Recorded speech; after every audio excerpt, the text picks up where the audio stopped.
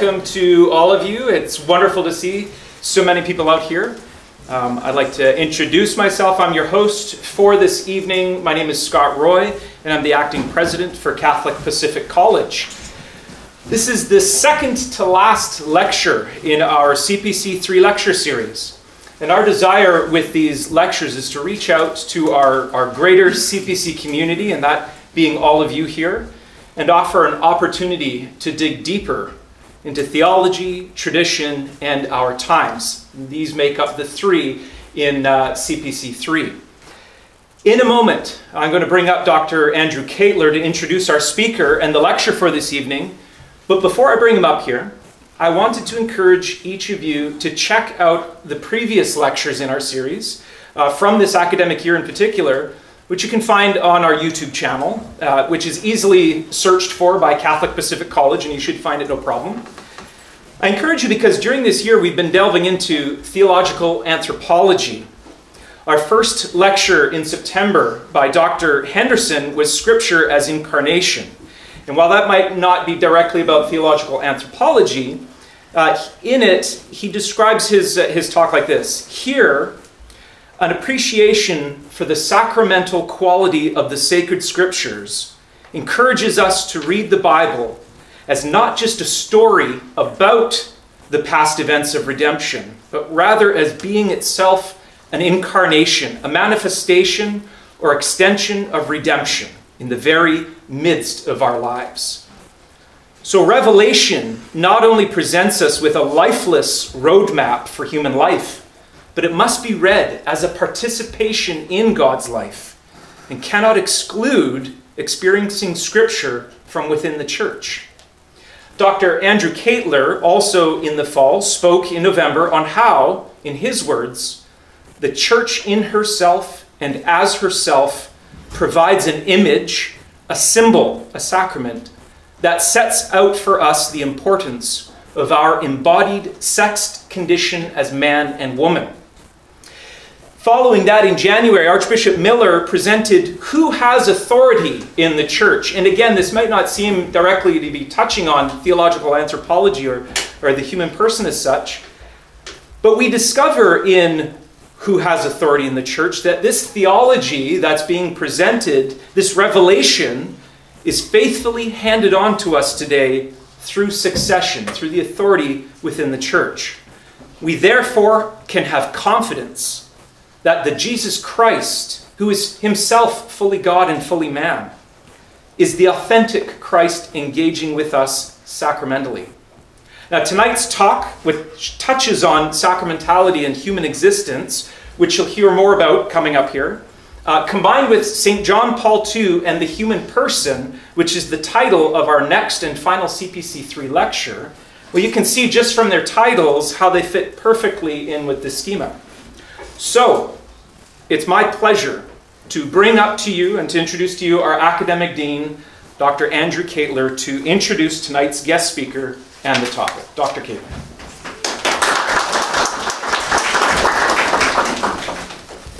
Good evening, great to be here. Uh, it's, a, it's a small world. I know that's a platitude, but it truly is.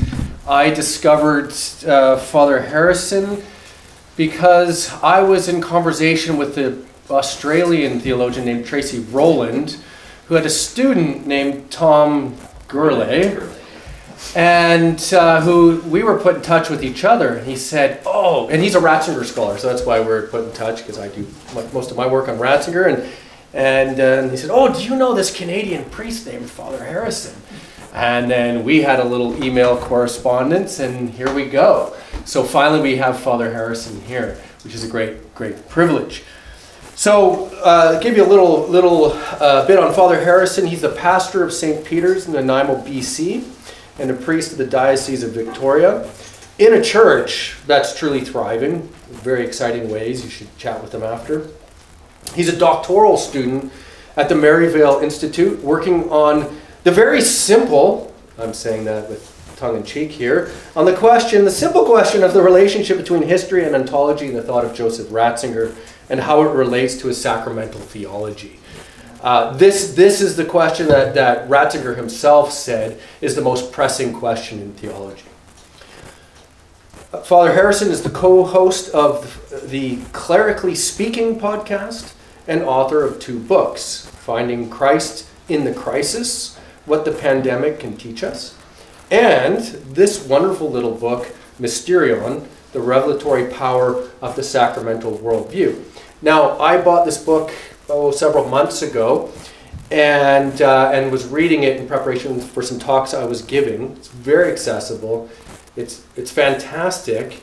But not only is it beautiful and what it tells us about, but what I discovered tonight is that if we take off this cover, you can talk to Father Harrison about this. This is a sacramental image in and of itself. Okay. So, $25 this is being sold for at the back of the room. So, after the talk, please pick up a copy. In 2008, at his homily on the solemnity of Saints Peter and Paul, Pope Benedict XVI wrote When the world in all its parts has become a liturgy of God, when its reality has become adoration, then it will have reached its goal and will be safe and sound. This is the ultimate goal of St. Paul's apostolic mission, as well as of our own mission. The Lord calls us to this ministry. Let us pray at this time that He may help us to carry it out properly, to become true liturgists of Jesus Christ. Amen. Now, here in this quote, this dense and profound quote, we have the notion of man as homo adorans, man as a sacramental worshiping creature. Here we also see the coming together of history and ontology. And tonight, Father Harrison will lead us further along this path with his talk titled Mystery and Modernism The Sacramental Foundations of Human Existence. Please welcome with me Father Harrison Ayre.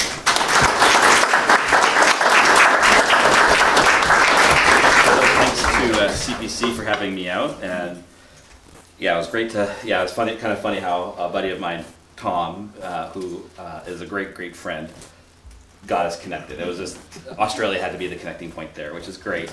And uh, I've known Dave for years uh, since he was in Victoria for a few years before uh, he, he then he became the source of my envy by getting to go to the JP2 Institute for doctoral studies, which is great.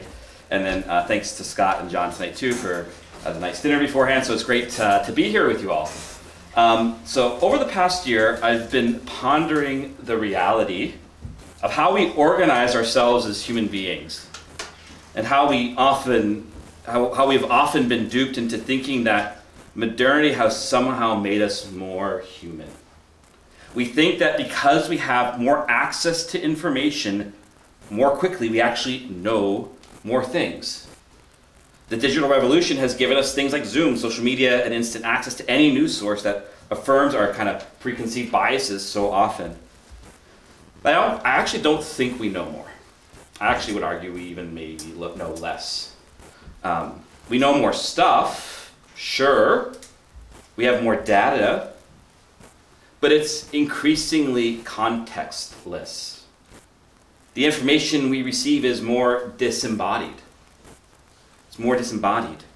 We think we are more informed when in fact we just have more stuff in our head that misses a ton of the subtleties that an embodied encounter with others affords us. As a pastor, for example, a lot of requests come my way. Sometimes far too many, and they can be in regards to the most mundane things at times that may not even be a proper use of my time. As I've pondered the situation and I've realized that modernity, at least in North America, with its desire to kind of sprawl outwards always, has organized life in such a way that we aren't close to others anymore. Here's a simple scenario to help you understand what I mean. In our lived experience today, we might just simply be frustrated when we call the parish office and find out that Father's not available when I call. We don't know why he isn't available. We don't know his schedule or of life. We don't know what he's doing that day. We lack context. And when we lack context, we tend to get frustrated. So when the secretary says he isn't able to be at the phone, we just get angry and frustrated and think that the priestess doesn't care about us. Now, ponder a different scenario for a second. One in which human proximity and closeness was actually an integral part of how we organized ourselves as Christians. We might live a lot closer, and the businesses and social, uh, uh, the social uh, amenities that we would have might be like within a five minute walk of anything. Let's say I just I went to the barber. I kind of do need a haircut. And so as I sit down, Joe the barber sees how tired I look. Father, you look like you, you could use some sleep. And then, tell, then, then proceed to tell Joe that I was at the hospital all night. I got two emergency calls at 1 a.m. for anointings, and I got back at 3, and then just was about to go back to bed when I got another call. A family was struck by an unsuspecting tragedy uh, of death, and I went back to the hospital and was there until I had to get back to the church for Mass in the morning. I finish my haircut, and then I head off to the next thing. Then later, the person who called the office starts talking to Joe. Says, "Man, I'm so frustrated. Anytime I call the parish office, Father is never available. You would think a pastor would want to be available and close to his people, but he's just never around."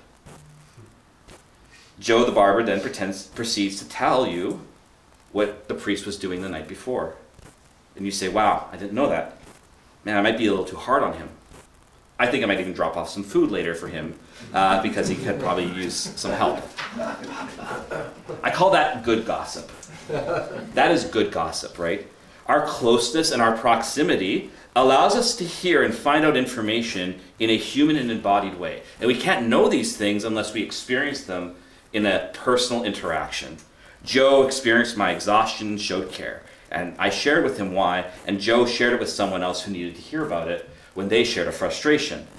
If it was a more abstracting situation, that is, life that has no proximity or integration into the lives of others, um, and we just and we just find out that father's just not available, then we tend to be frustrated and angry and want to fix things in a different way because we lack the human context to process this information.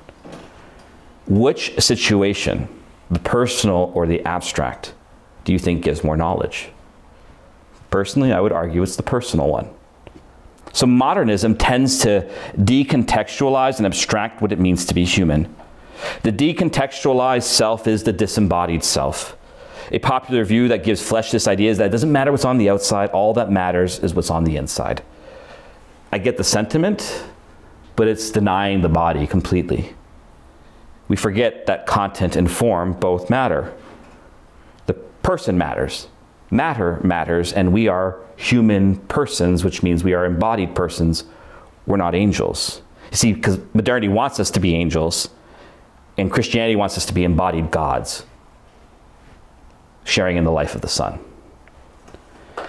The move to a contextless or disembodied person continues its stranglehold in a variety of ways. And so, what I want to do this evening is explore this kind of connection between uh, modernism's constant attempt to deny this centrality of our embodiedness as human beings by its denial of mediation.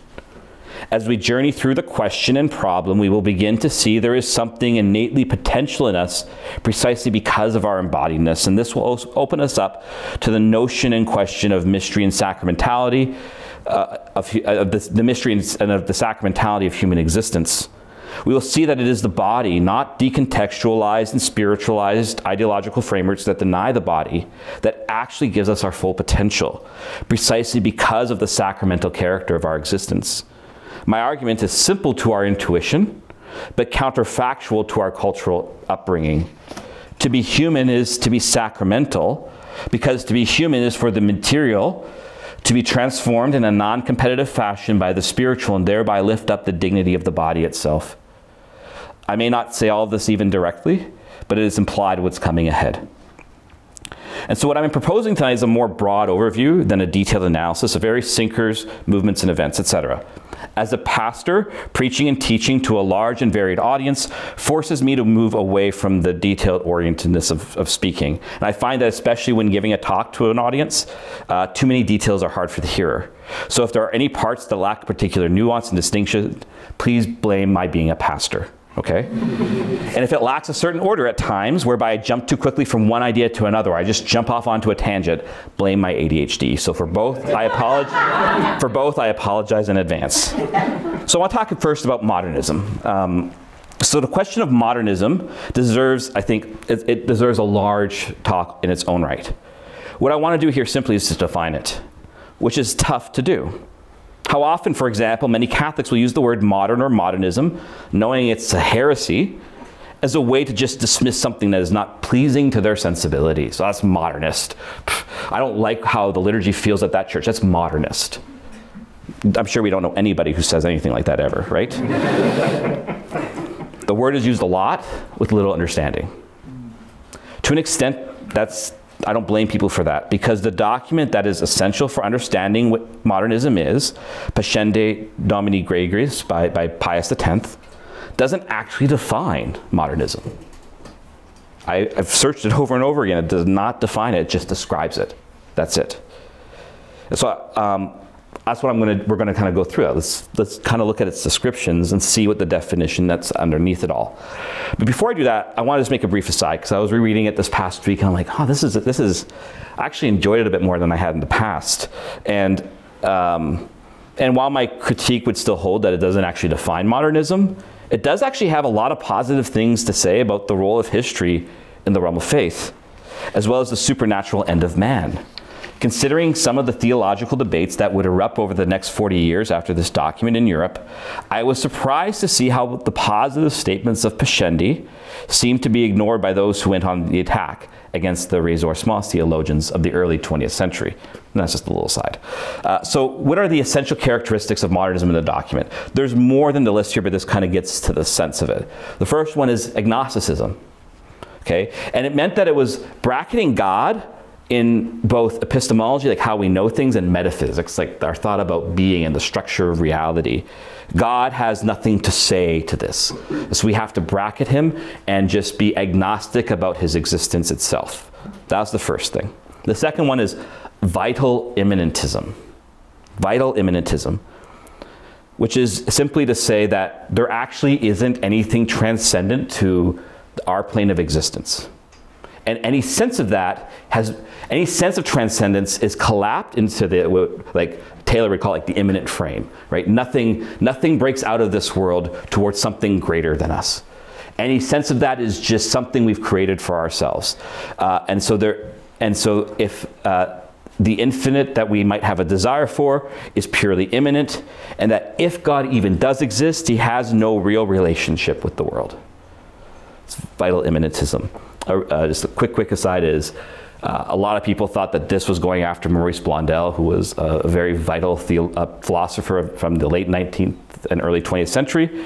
Pius X actually wrote his archbishop to say, please let Monsieur Blondel know that we are approving of his work and that we want, we want to encourage him to continue on in, in, in everything he's doing. From Pius X, who was like the guy against modernism, and everyone thought that Blondel was a modernist, and Pius X said no. So that's just, I, that was I did my master's on Blondels and I found that. I'm like, this is a really cool thing. Um, so the third one is scientific historicism and, and, and, this, this like radical historicism where we, we his, history kind of relativizes everything. Um, whereby anything supernatural is expunged from scripture and revelation. And as, as, uh, at, at best, it has a natural explanation or its myth to just be ignored. Uh, so a, a, famous example of this, well, God never really parted the Red Seas. It was just some really strong winds that forced the Red Sea to split into two. That is a scientific, historicist uh, um, explanation of what happened there. Um, it's a reduction. It says nothing miracle, miracles can't happen in other words. So you're already starting to see some connections between these different worldviews. The four, fourth one was dogmatic evolutionism, where dogma is merely the result of a historical process where it evolves and can no way adequately convey the truth of God. God is so infinitely greater that dogma can't actually say anything true about God, essentially. Therefore, dogma can not only can develop in this worldview, it can evolve beyond any semblance to its original expression And here we also see that epistemological gap between God and the world that denies any analogy that thereby undermines our ability to even know God and know his existence. So those are your more intellectual uh, theories that Pius was going against. The fifth one is, more, is on the more personal level, and he goes against sentimentalism and excessive emphasis on personal experience. So he's not saying sentiment, to be to have affect or personal experience is bad in faith. He's saying their their excesses is the problem. And essentially comes down to this. What I think and feel about God is what matters. Well, I feel God is saying this to me and therefore it's true. That's who God is. The problem, of course, becomes, well, someone feels the opposite, so who's right?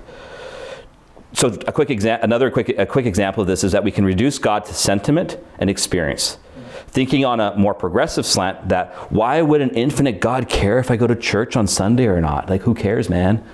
God's love, man, and that's enough. And uh, you hear that enough. Trust me, I hear it all the time as a priest. And I actually say, no, it's precisely because God loves you that He cares. That's why He cares. Actually, He does care, uh, it's, but it's personal. It's very personal. Uh, and so here, sentiment and experience presumes a lack of relationship, and that God does not love, and does that, and that therefore does not, uh, and, and sorry, and that God does love and therefore does care precisely, precisely because he is infinite. He can, he can relate personally to each person. On the other side of the sentimentalism is that, that, naive, that naively and destructively says what it is, what is and isn't true faith for no other reason than because I feel this way.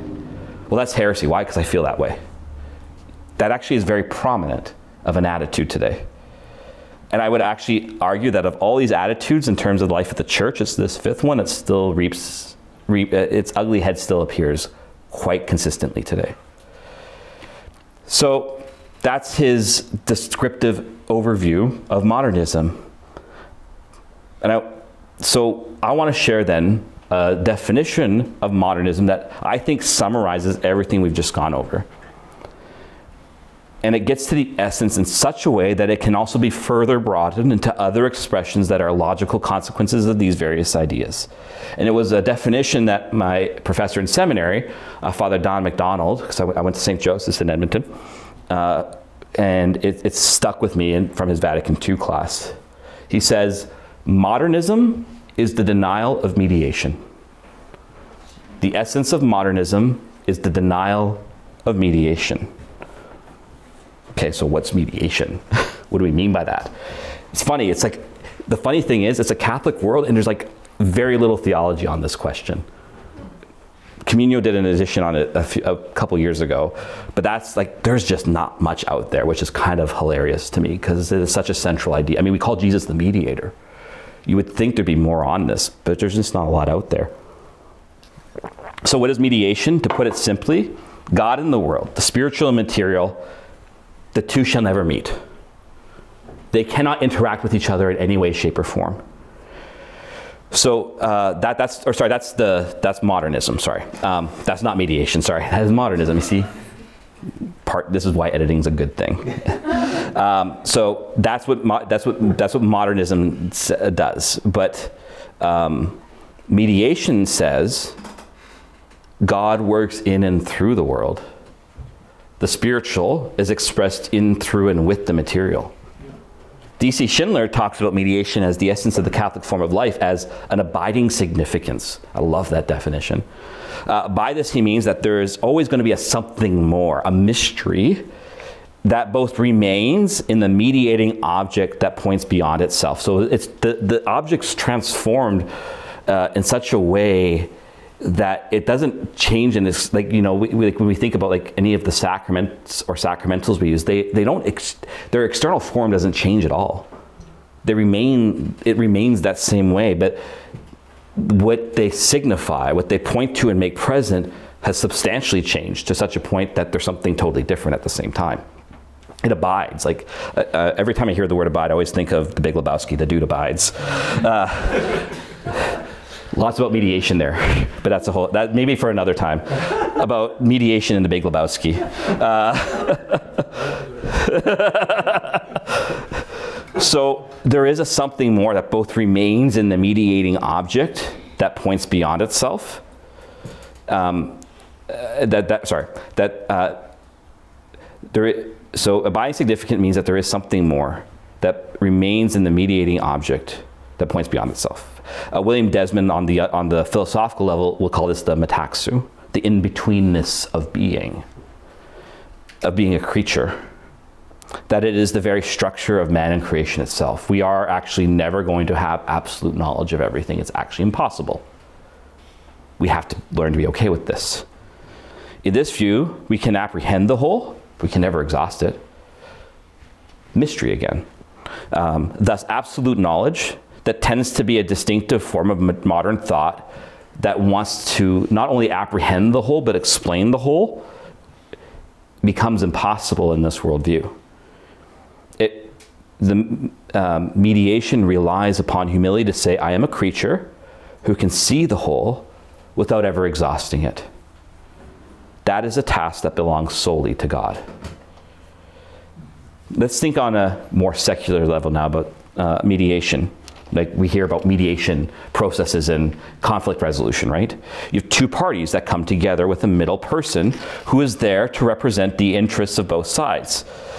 In the realm of faith, mediation gains its prominence in the person of Jesus Christ, right? The mediator between, the in between is the metaxu, the mediator between God and man. So if we talk as modernism as the denial of mediation, then we would say that the spiritual and the material, God and the world, aren't even in a tensive dialectical relationship, which is how it's it's always seen in like a dialectic of competition. Like there's a tense uh, disagreement between body and spirit, uh, uh, material and spiritual, God and the world, and only one can survive. It's a it's a match to the death between these two, uh, and mediation removes this competitive nature between these two realities. It has to, because if it, for it to work in a integrated and holistic way, it cannot be in competition with what it's interacting with. So we see this, for example. Uh, I think this is this comes to uh, a fore, especially in how we see language nowadays, and how we see. I think this is. I, I don't think we recognize how much modernism has impacted our view of language. Um, because when we deny mediation, we means that we deny the significance of things, that they bear a meaning beyond themselves. So, how do we see, when we hear that word literal, what do we think it means when we hear that? We hear it only has a strict meaning, it does not have any poetic sense behind it whatsoever. Uh, it, la- it, lacks any symbol. So, like when we talk, uh, it, it, has no significance, right? No sign value, right? That's at the heart of the word significance. No, it doesn't point to something more. It cannot point beyond itself. What it's meant to point to now collapses into it. So, this is that vital immanent stuff coming to play here. Language becomes opaque, not transparent. Uh, so this creates a hypertextualism and a hyper focus on words whereby everything is said is only said and understood in a strict sense that leaves no room for mercy. Thus it would seem weird if people heard a catholic say that they believe in the literal sense of genesis. I would say that. And you probably feel weird when i say that. And you should because if we understand literal in the modern sense i would disagree with that too but that's not what we mean by literal. Because for us, like in Genesis, the literal sense does not mean God created it in seven days, but rather that the meaning is to be able to know, be known more directly. That is symbolically made present through the words. So, what are the effects of modernism then? Language is one of them in Mysterion. I do list a whole bunch of the, I have a whole chapter in there on modernism, but, uh, but at the essence is this. If God and the world are completely separated from each other, then creation, fall, redemption, incarnation, church, miracles, etc., it's all impossible. It's all impossible. You're nothing more than the product of evolution and you have no freedom. That's strict materialism because that's the only possible answer when you take God out of the equation. So we must acknowledge that though it evolves, this is still in the air we breathe day to day, and it makes faith harder and harder to live. We do ourselves no favors in rejecting this fact, but rather must ask ourselves, how do we create a new atmosphere to breathe in and help all who kind of breathe that same modernist air where mediation is denied and to find a new air where a new humanism and a true humanism is found in Christ? So, the above about modernism is vital because we can quickly begin to understand how a sacramental vision, which takes mediation as its central, as central to its whole understanding of reality, how that becomes undermined and foreign to the vision laid out in modernism. This is why it's very hard to evangelize today because we actually aren't addressing modernism when we evangelize. Like, this gets into a whole other thing on apologetics.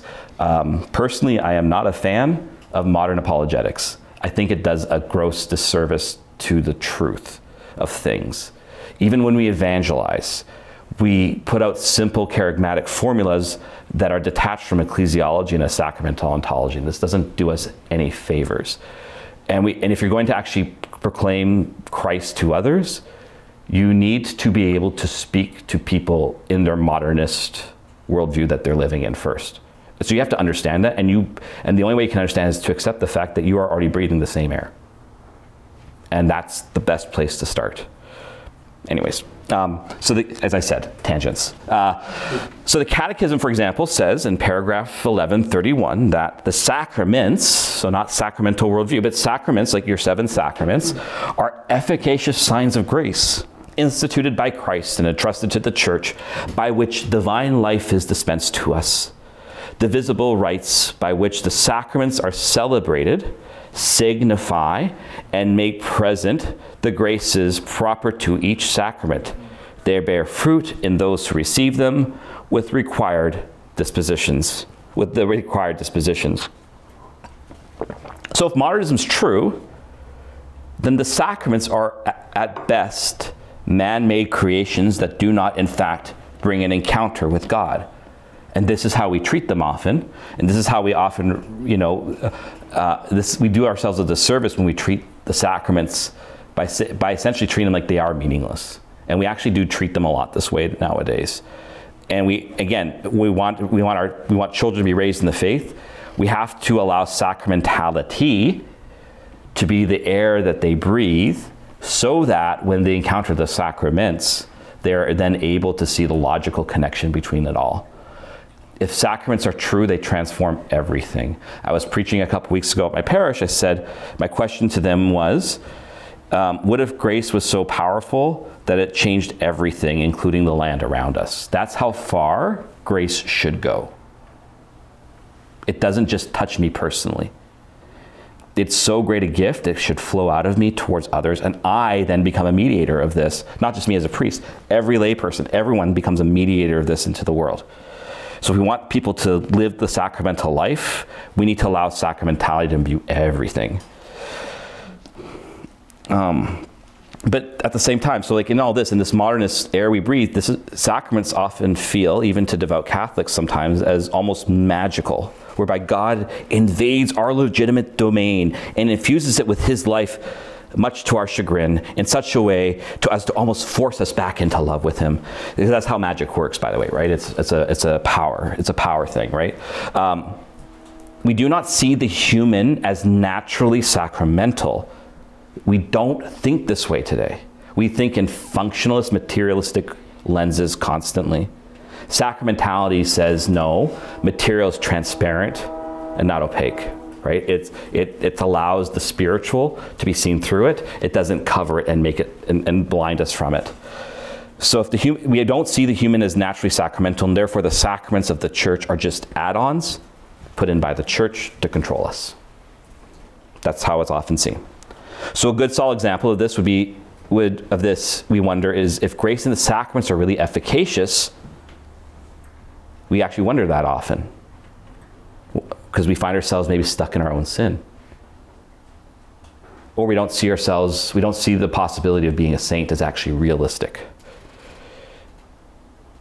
This is a form of um, and so we think, oh, this, um, uh, grace is just going to do its magic and change me. And I'm going to do absolutely nothing. This is a very modern form of receptivity. I just need to stand still and let God control me like a puppet. While receptivity has a priority in our humanity and in our receptivity to God, it is not this kind of mousy passiveness that is all too common today. It is rather Marian to its core. What happens when the angel Gabriel addresses Mary is full of grace? She says the perfect yes. That is, in fact, the most perfect form of human freedom. To say yes to God with no resistance to his will, and with a humble acceptance of how God wants us to cooperate with his, with, in the mysterious history of salvation. So, what does the openness of Mary imply? Her response, her yes, is the fruit of her receptivity. It does actually lead to action, but not in a I'm going to fix everything, but it grace motivates. There is a reason Mary runs to Elizabeth. It's the fruit of grace.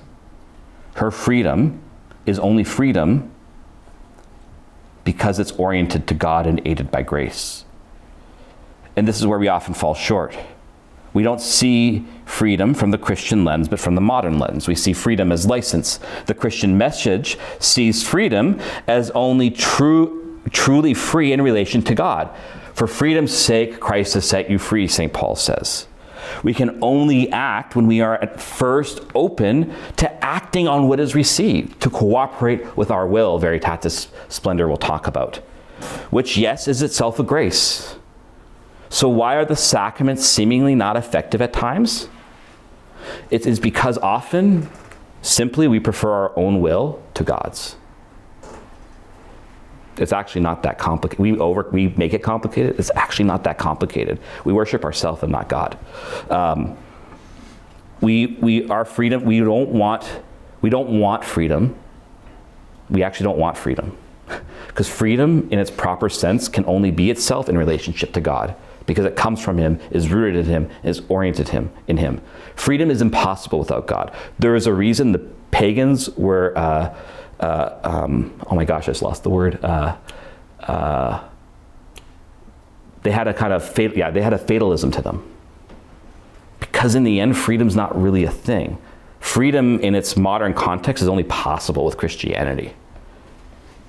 But that being an aside, I don't I do want to get back to this notion of sacramentality. So the other reason we deny sacramentality is that we ignore what is obvious to us. Again, we are materialists too often today. We ignore what is obvious to us in that we are by nature sacramental creatures.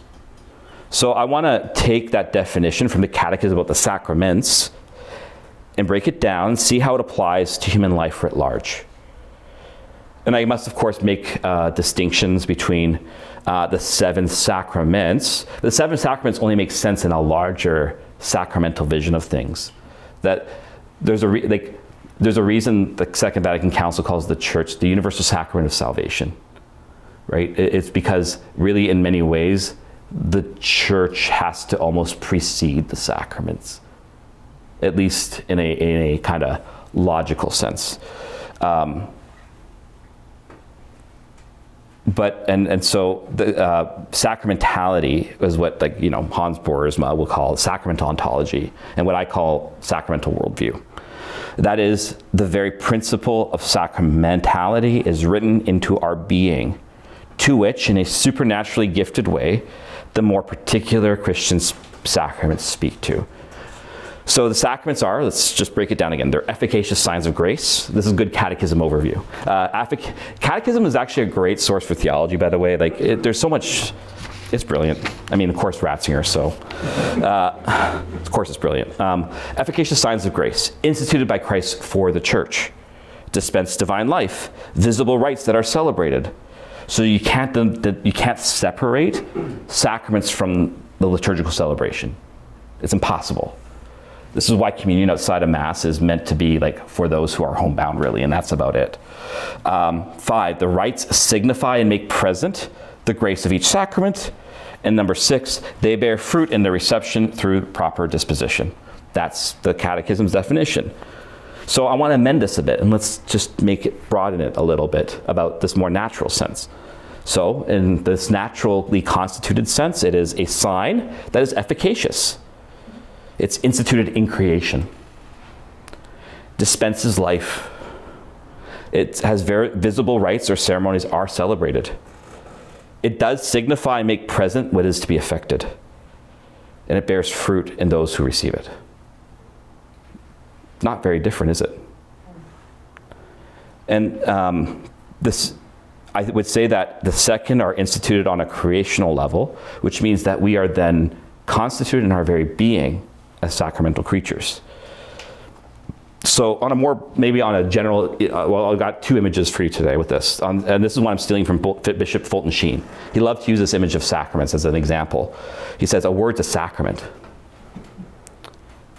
Suppose I say the word book or mysterion. No.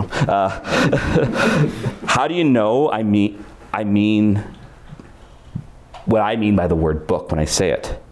What is, that, what, what is implied by it in its most basic definition. An item, either bounded or digital, that is written by an author for an audience in order to convey a story, information, ideas, etc. Somehow we know what a book is when I say that word. But the word is nothing more than sounds that reverberate in the air. And the idea I have of a book is invisible to you. Hopefully, you can't read my mind. By hearing that word, the sound waves reverberating through the air hits your eardrum. You thereby are able to know what I mean by saying it. Something visible or tangible, this, the sound waves in this case, so something sensible, makes present and communicates something invisible. And it affects what it signifies. That's sacramentality. A word is a sacrament, in a way, in this sense. It's a natural sacrament, though, right? It's something instituted in creation itself. On a deeper level, I want to share an image I've come to love from Joseph Ratzinger. It's actually one of his earlier essays. It's in the 11th volume of his complete works on the liturgy. He uses the image of the meal in ancient religious traditions as a presentation of a natural sacrament. But I don't think we need to go that back, far back in time. In fact, I use meals as a very important and natural means to build up various communities in my own parish. And they help people encounter sacramentality in a way that isn't too foreign, but is intensified by the Christian presence. Uh, um, is intensified by the Christian presence there. So I want to go through those six categories that I gave down. So it is a, a sacrament is a sign that is efficacious. So what is a meal a sign of? If we were just mere, merely biological creatures, a meal wouldn't be that important. It actually be it served no function, right? Meals aren't functional. Look how much time you have to put into them, right? It's a lot of work. There's a reason we actually don't like cooking just for one person, but we have no problem cooking for 10. But it's worth the work.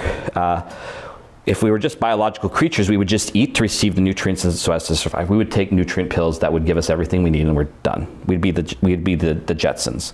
Um, but think of memorable meals you've had, and I can think of a few myself. What is the meal a sign of? Maybe it's the family's unity at Christmas dinner, the friendship that gathers together in this act, a, a wedding banquet, for example.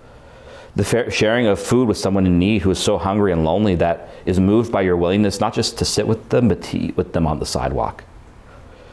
We know instinctually, no matter how much modernity attempts to force us to forget, eating with others is important.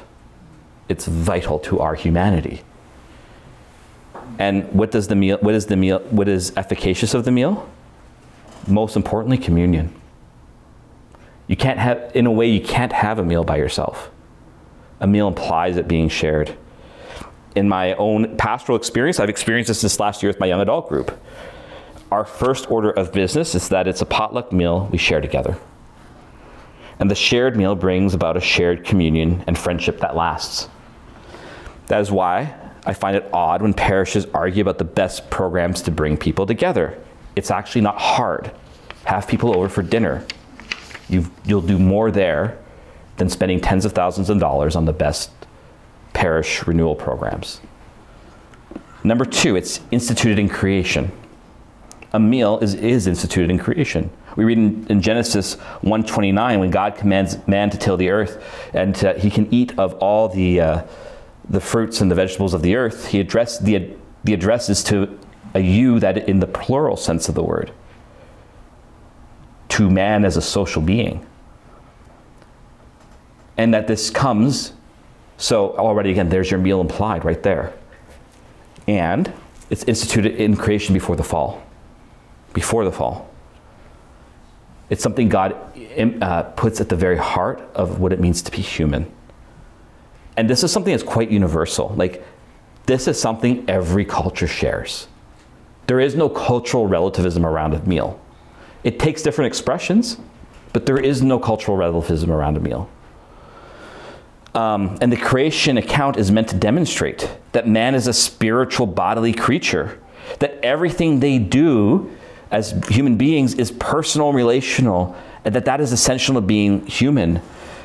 And God institutes a meal which would be a seemingly just biological thing to just get nutrients as part of this creative, spiritual, personal human activity. It's instituted in creation. Number three, it dispenses life. Well, first, obviously, we cannot live without food.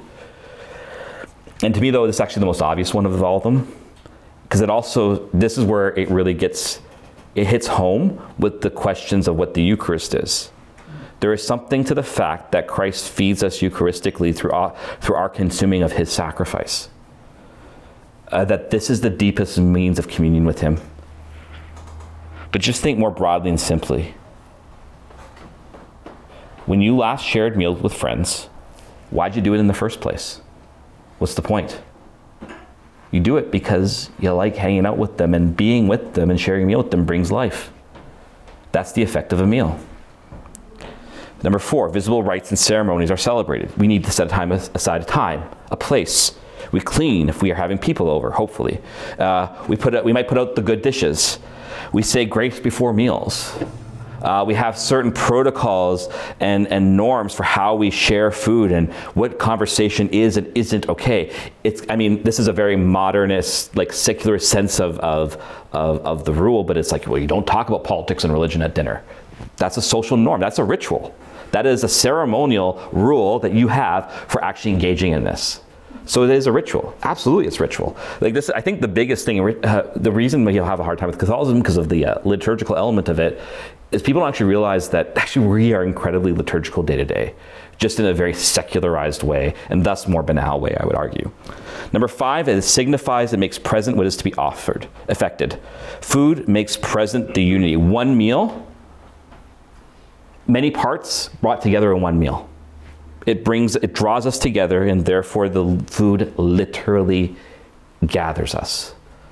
When my mom says she's going to make sugar pie at Christmas, well, you darn better believe it, I'm going to be home for Christmas. It gets me there, it unifies. And number six, it bears fruit in those refusing me. As you can tell, I've borne a lot of fruit as a priest. Uh, and we don't get just fed physically, but we get fed spiritually as well. We must be disposed to receiving it. But often just showing up shows us we are disposed to receiving the grace, the gift that the meal has to bear. So there's a lot more to say about the sacramentality of the meal, but time is running out, although I'm actually I'm kind of right on time. This is amazing. I'm getting good at this. There's, there's benefits about being a priest. You know how long, how many words take to preach a homily.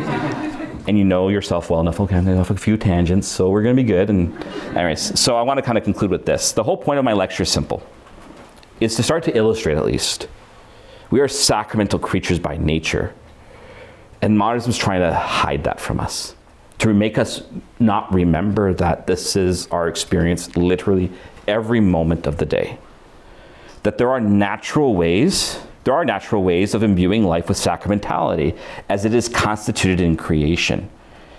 And in this sense, because creation itself is sacramental, there are means by which we can tap this for our benefit to revivify the sacramental structure so as to make Christianity um, more understandable and palatable today. This is why, for example, I am not of the opinion that the church is like it was back in the apostolic era. It's not. I mean, for one, uh, the 12 apostles aren't around. Number two, we got 1.2 billion instead of like a few thousand. But also, the worldview is different, vastly different. And in some ways, they actually had it easier. The world understood all this. They didn't have to convince people about sacramentality. We have to do this now and emphasize first its naturalness so as to help people understand that the supernatural structure instituted by Christ um, it, it builds upon and intensifies in a way that cannot be predicted what is already got naturally built in by God in creation. Otherwise, God's entering a foreign element, and that doesn't work. And we have to remember Jesus Christ himself is the sacrament par excellence. His humanity makes present, reveals, affects salvation by virtue of his unity to his divine nature. So, how do we do this as both human beings and as a church? And I would propose that some of the problems I brought out in my introduction around context, proximity, and integration have a lot to do with what we want to try to address. We need to accept our embodiedness as a gift, as spiritualized, as something that signifies what is effective in and through it. On the level of the church, we need to build upon, on the more kind of quote unquote programmatic side, the importance of the home, the domestic church, of, if you will, like the domestic liturgy, if you will, of the family, of the land we are a part of, and of removing from money its magos, magical pseudo sacramentality and use it for the good of building up our local parish life. Think locally. That's what we got to be doing in this church. On the level of a more pastoral side, I would argue that the number one place is in liturgy. I call this talk mystery and modernism for a reason. Like as in the lexicon uh, tradition of the translation of the Bible, uh, Saint Jerome translated the Greek word mysterion as sacramentum. Mystery and sacrament go hand in hand.